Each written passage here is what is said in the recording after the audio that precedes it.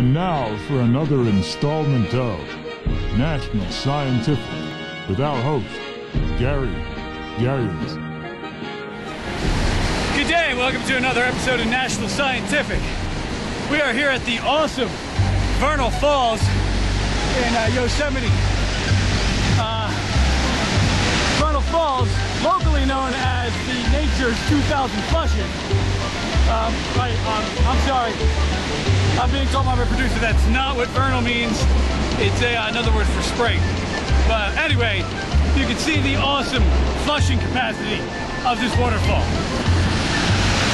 It's like God's toilet.